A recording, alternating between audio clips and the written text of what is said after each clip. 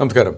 പലപ്പോഴും നമുക്ക് ക്വസ്റ്റ്യൻസ് വരാറുണ്ട്. ഇപ്പോൾ മുസ്ലിംസ് ആയിട്ടുള്ള കസ്റ്റമേഴ്സൊക്കെ അവർ പറയും ഞങ്ങൾക്ക് ഇൻട്രസ്റ്റ് പറ്റില്ല. ഇപ്പോൾ ഇൻട്രസ്റ്റ് ഇല്ലാത്ത ഇൻവെസ്റ്റ്മെന്റുകൾ ഏതാണെന്നുള്ളതിനെ കുറിച്ചിട്ട്. അപ്പോൾ ഇതൊരു വളരെ സീരിയസ് ആയിട്ടുള്ള ഒരു കൺസേൺ ആണ്. ഇൻട്രസ്റ്റ് ഇല്ലാതെ നമുക്ക് ഇന്ത്യയിൽ നിക്ഷേപിക്കാവുന്ന ഓപ്ഷൻസുകൾ എന്താണെന്നുള്ളതിനെ കുറിച്ചിട്ടാണ് നമ്മൾ ഇന്ന് സംസാരിക്കുന്നത് നമ്മൾ പലപ്പോഴും സംസാരിച്ചിട്ടുണ്ട്. പക്ഷേ ഇപ്പോഴത്തെ ഒരു സാഹചര്യത്തിൽ കുറച്ചും കൂടിയും ഇൻവെസ്റ്റ്മെന്റ് ഓപ്പർച്യൂണിറ്റികൾ നമുക്ക് ഇന്ത്യയിൽ കൂടിയിട്ടുണ്ട്. അപ്പോൾ അതിന്റെ പേരിൽ ഒന്നും കൂടിയും നമ്മൾ പറയാൻ വിചാരിച്ചു. ഇൻട്രസ്റ്റ് ഫ്രീ ആയിട്ടുള്ള ഇൻട്രസ്റ്റ് ഫ്രീ ഓപ്ഷൻസ് ഇൻവെസ്റ്റ്മെന്റ് ചെയ്യാനുള്ള ഓപ്ഷൻസ് എന്താണെന്നുള്ളതിനെ കുറിച്ചാണ് നമ്മൾ ഇന്ന് സംസാരിക്കാൻ പോകുന്നത്. അപ്പോൾ നമ്മളിതിൽ കൺസെപ്റ്റ് മനസ്സിലാക്കേണ്ടത് നമുക്ക് ഒരു ഒരു ഈ ഒരു ഇൻട്രസ്റ്റ് ഫ്രീ എന്നുള്ള കൺസെപ്റ്റ് ഉദ്ദേശിക്കുന്ന ആളുകളാണെന്നുണ്ടെങ്കിൽ അല്ലാന്നുണ്ടെങ്കിൽ ഒരു മുസ്ലിം പോയിന്റ് ഓഫ് വ്യൂവിൽ ഇൻവെസ്റ്റ് ചെയ്യാൻ താല്പര്യമുള്ളതെന്നുണ്ടെങ്കിൽ ചിലപ്പോൾ മുസ്ലിംസിലായാലും ഈ ഇൻട്രസ്റ്റിൽ വിശ്വാസമില്ലാത്ത കുറേ ആളുകളുണ്ടാവും. അവർക്ക് എല്ലാത്തിലും ഇൻവെസ്റ്റ് ചെയ്യാനായിട്ട് പറ്റും. പക്ഷേ എന്നിരുന്നാലും നമ്മൾ മനസ്സിലാക്കേണ്ട കാര്യം വെച്ചാൽ എസ്പെഷ്യലി ഒരു ഹലാൽ ഹറാം പോയിന്റ് ഓഫ് വ്യൂലാണ് ഇത് പറയുന്നത്. അപ്പോൾ ഹറാം പോയിന്റ് ഓഫ് വ്യൂ പറയുന്നുണ്ടെങ്കിൽ നമുക്ക് ബാങ്കിങ് ഇപ്പോൾ നമ്മൾ ഇൻട്രസ്റ്റ് ഉള്ള ബാങ്കിങ് അല്ലെന്നുണ്ടെങ്കിൽ ഇപ്പോൾ സ്പെക്യുലേഷൻ ഉള്ള അല്ലെങ്കിൽ ഗാംബ്ലിംഗ് ഉള്ള ബിസിനസ്സുകൾ പിന്നെ അല്ലാന്നുണ്ടെങ്കിൽ ആൽക്കഹോളുള്ള ബിസിനസ്സുകൾ അല്ലാന്നുണ്ടെങ്കിൽ സിഗരറ്റ് സ്മോക്കിംഗ് ടൊബാക്കോ ഉള്ള ബിസിനസ്സുകൾ ഇതൊന്നും പിന്നെ പോൺ അങ്ങനത്തെ കാര്യങ്ങളുള്ള ബിസിനസ്സുകളിൽ നമുക്ക് ഇൻവെസ്റ്റ് ചെയ്യാൻ പറ്റില്ല. ഇതെല്ലാവരും പ്രോഹിബിറ്റഡ് ആയിട്ടുള്ള ബിസിനസ്സുകളാണ് ഇനി അടുത്ത ഒരു കാര്യം എന്ന് വെച്ചാൽ എന്തൊക്കെയാണോ ഇൻട്രസ്റ്റ് ഇതിൽ ഉൾപ്പെട്ടിട്ടുള്ളത് അതിലും നമ്മൾ ഇൻവെസ്റ്റ് ചെയ്യാനായിട്ട് പാടില്ല എന്നുള്ളതാണ് നമ്മൾ പറയുന്ന ഒരു കാര്യം പറഞ്ഞാൽ. അപ്പോൾ ഇങ്ങനെ നോക്കുമ്പോൾ നമ്മൾ മനസ്സിലാക്കേണ്ട കാര്യം ഇത്തരം ഇൻഡസ്ട്രികളിൽ ഇൻവെസ്റ്റ് ചെയ്യാത്ത കാര്യങ്ങൾ ഇത്തരം ബിസിനസ്സിൽ ഏർപ്പെടാത്ത ബിസിനസ്സുകളിൽ നമുക്ക് ഇൻവെസ്റ്റ് ചെയ്യാൻ പറ്റും. അപ്പോൾ നമുക്ക് ഫസ്റ്റ് ചെയ്യാവുന്ന കാര്യം വെച്ചാൽ ബിസിനസ് ബിസിനസ്സിൽ നമുക്ക് ഇൻവെസ്റ്റ് ചെയ്യാം. ഇതിൽ പെടാത്ത ഏതൊക്കെ ബിസിനസ് ഉണ്ടോ അതിൽ എല്ലാത്തിലും ഇൻവെസ്റ്റ് ചെയ്യാൻ പറ്റും. അപ്പോൾ ഏതൊക്കെയാണ് ആ ബിസിനസ്സുകൾ അപ്പോൾ നമ്മൾ നോക്കുകയാണെന്നുണ്ടെങ്കിൽ ഇപ്പോൾ മാനുഫാക്ചറിങ് ബിസിനസ്സുകൾ ഓക്കെ ഐ ടി ബിസിനസ്സുകൾ ഇനി ഫാർമസ്യൂട്ടിക്കൽ ബിസിനസ്സുകൾ ഓട്ടോമൊബൈൽ ബിസിനസ്സുകൾ കെമിക്കൽ ബിസിനസ്സുകൾ അല്ലെന്നുണ്ടെങ്കിൽ മെറ്റൽ ബിസിനസ്സുകൾ അല്ലെങ്കിൽ സിമെന്റ് ബിസിനസ്സുകൾ ഷുഗറിന്റെ ബിസിനസ്സുകൾ ഇതെല്ലാനും നമുക്ക് ഇതിൽ പെടാത്ത ഐറ്റംസാണ്. അപ്പോൾ നമ്മൾ ബിസിനസ് നോക്കുന്ന ടൈമിൽ നമുക്ക് ഏറ്റവും സിമ്പിളായിട്ട് ഇൻവെസ്റ്റ് ചെയ്യാവുന്ന കാര്യം എന്ന് പറയുന്നത് ലിസ്റ്റ് ചെയ്തിട്ടുള്ള കമ്പനികൾ. ഇപ്പോൾ ഷെയർ മാർക്കറ്റിൽ ലിസ്റ്റഡ് ആയിട്ടുള്ള കമ്പനികളിൽ നമുക്ക് ഇൻവെസ്റ്റ് ചെയ്യാനായിട്ട് പറ്റും. അപ്പോൾ ഇതിൽ നമ്മൾ നോക്കേണ്ടതുകൊണ്ട് ഈ പറഞ്ഞ കാറ്റഗറി ബിസിനസ്സുകളിൽ പെട്ടത് ഏതൊക്കെയാണോ ഈ പറഞ്ഞ കാറ്റഗറി ഓഫ് ബിസിനസ്സുകളിൽ പെട്ടത് ഏതൊക്കെയാണോ ആ കമ്പനികൾ ലിസ്റ്റഡ് കമ്പനികളിൽ നമ്മൾ നോക്കുക. എന്നിട്ട് ഒരു ഷെയർ ബ്രോക്കർ എടുത്ത് പോയിട്ട് ബ്രോക്കിംഗ് അക്കൗണ്ട് എടുക്കുക.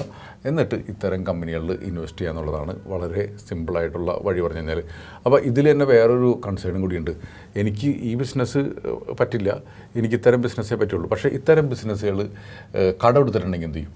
അപ്പോൾ നമ്മൾ കടം എടുത്തിട്ടുണ്ടോ എന്ന് നോക്കാനായിട്ട് നമുക്ക് ഒന്നില്ലാന്നുണ്ടെങ്കിൽ കടം മൂന്ന് ശതമാനം വരെ അക്സെപ്റ്റബിൾ ആണ്.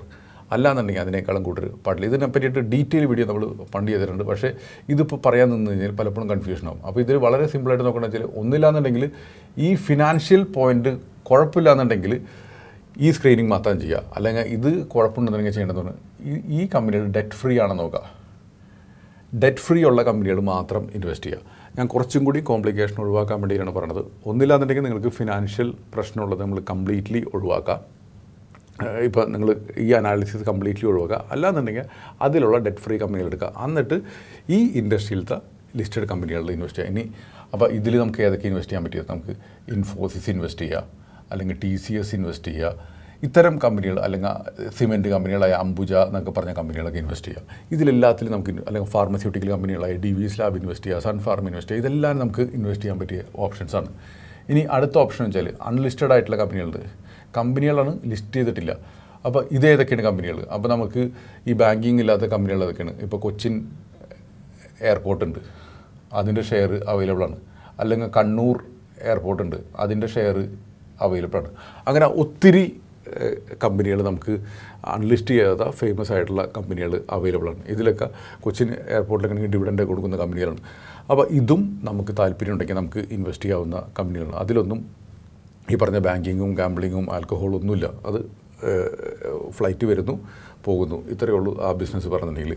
അപ്പോൾ ഇനി ഇതേപോലെ തന്നെ നമുക്ക് ഇൻവെസ്റ്റ് ചെയ്യാവുന്ന കാര്യമാണ്. ഷെയറിൽ പോലെ തന്നെ ഇൻവെസ്റ്റ് ചെയ്യാവുന്ന മ്യൂച്വൽ ഫണ്ടുകൾ അപ്പോൾ മ്യൂച്വൽ ഫണ്ടുകൾ നമുക്ക് ഇൻവെസ്റ്റ് ചെയ്യാനായിട്ട് ഇപ്പോൾ സ്പെസിഫിക് ആയിട്ട് പറഞ്ഞെങ്കിൽ ടാറ്റ എത്തിക്കൽ ഫണ്ട് എന്നൊക്കെ പറഞ്ഞിട്ട് ഉള്ള ഫണ്ടുകളുണ്ട് എത്തിക്കൽ ഫണ്ട് എന്ന് പറഞ്ഞിട്ടുണ്ടെങ്കിൽ രണ്ടെണ്ണം ടോറസ് എന്ന് പറഞ്ഞൊരു ഫണ്ടുണ്ട് ഇത് അവൈലബിൾ ഉണ്ട്. അല്ലാന്നുണ്ടെങ്കിൽ നമുക്ക് ഐ ടി ഫണ്ടുകൾ മാത്രമുള്ള ഡിജിറ്റൽ ഫണ്ടുകൾ മാത്രം എടുക്കാൻ പറ്റുന്നുണ്ട്.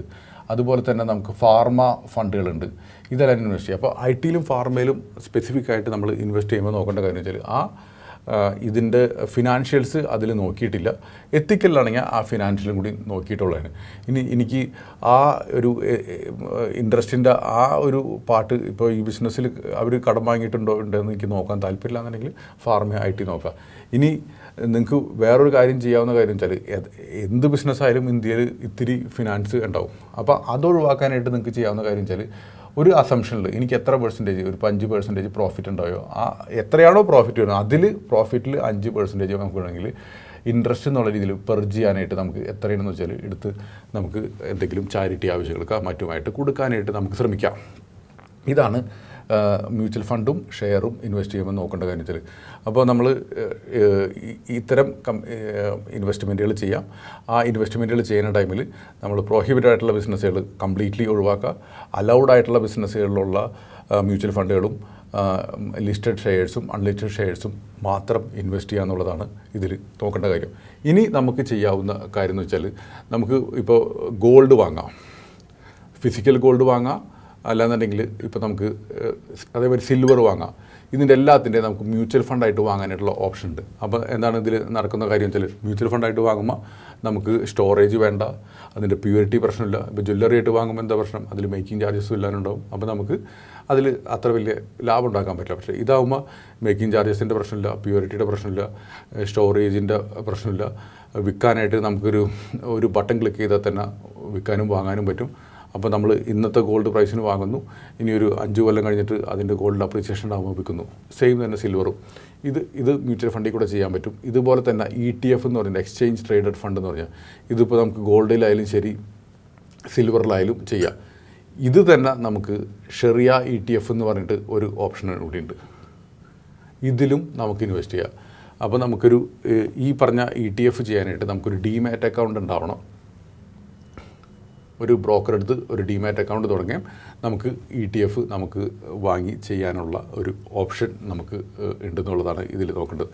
ഇതുപോലെ തന്നെ വേറൊരു അടുത്ത ഓപ്ഷനാണ് റിയൽ എസ്റ്റേറ്റ് ഇൻവെസ്റ്റ്മെന്റ് ട്രസ്റ്റ് എന്ന് പറഞ്ഞിട്ട്. ഇപ്പോൾ ഇപ്പോൾ ബാംഗ്ലൂരൊക്കെ ഉള്ള ഐ ടി പാർക്കുകളൊക്കെ ഉണ്ട്. അപ്പോൾ അത്തരം കമ്പനികൾ അത്തരം പാർക്കുകൾ ഇൻവെസ്റ്റ് ചെയ്തിട്ടുള്ള ഒരു ഫണ്ടാണ് ഈ പറഞ്ഞ ഈ റിട്സ് എന്ന് പറഞ്ഞാൽ അപ്പോൾ ഇന്ത്യയിൽ അവൈലബിൾ ആയിട്ടുള്ള ഒത്തിരി റിട്സുകളുണ്ട് ഇപ്പോൾ എംബസി പാർക്കിന്റെ റിട്സ് അവൈലബിൾ ആണ്. ഇതിൽ ഇൻവെസ്റ്റ് ചെയ്യാനായിട്ട് നമുക്ക് ഒരു ഡിമാറ്റ് ഉണ്ടെങ്കിൽ ഒരു ഷെയർ ബ്രോക്കറി കൂടെ നമുക്ക് ഇൻവെസ്റ്റ് ചെയ്യാവുന്നത് ഇത് റിയൽ എസ്റ്റേറ്റിലാണ് ഇൻവെസ്റ്റ് ചെയ്യണത് അപ്പോൾ അത് നമുക്ക് അലൗഡ് ആയിട്ടുള്ള ബിസിനസ്സാണ് ഇതിൽ ഇൻവെസ്റ്റ് ചെയ്യാനായിട്ട്. അപ്പോൾ അതിലും ഒരു ക്വസ്റ്റ്യൻ ഉണ്ട്.